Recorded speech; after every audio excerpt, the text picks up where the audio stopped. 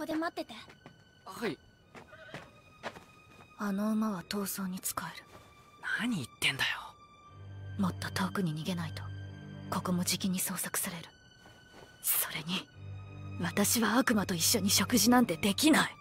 お前な。お待たせ。入ってきて。あはい。今行きます。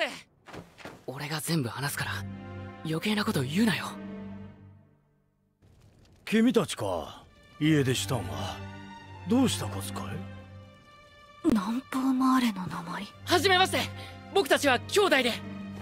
ベンとミヤです。訳あって親元から逃げてきました。僕たちにできることがあれば何でもします。だから数日だけここに泊めてください。お願いします。そげん子供が頭を下げるもんやない。ブラス厩舎へよう来たね